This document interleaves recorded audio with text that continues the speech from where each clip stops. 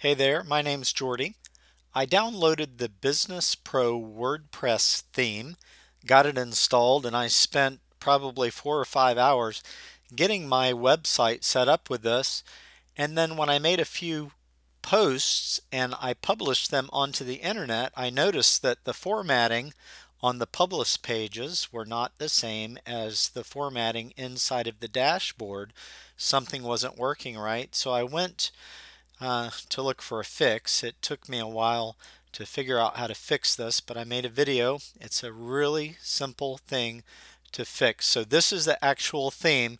The first thing that you want to do is make sure that you download the the WordPress theme so that you'll actually have the style sheet as a replacement in case you mess something up, which I don't think that you will. All right, so I'm going to go to my site now and this is my site. I have it all set up. And this is the problem.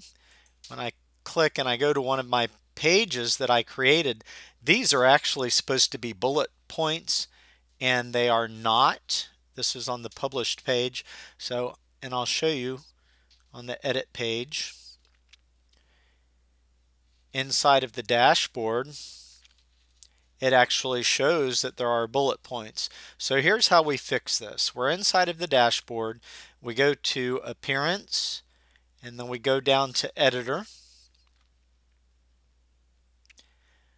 Once we're in the editor, we're going to come down to the Style Sheet, click on that.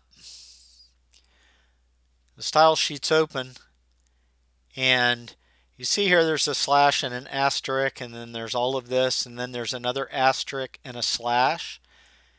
You want to take that guy right there and you're going to cut it out and then on the line below it where it says reset.css right after that semicolon paste that asterisk and forward slash and then update your file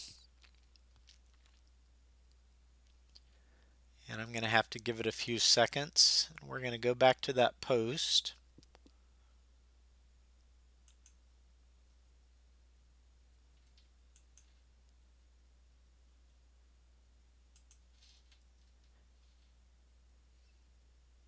Still takes a moment. It has to go through the hosting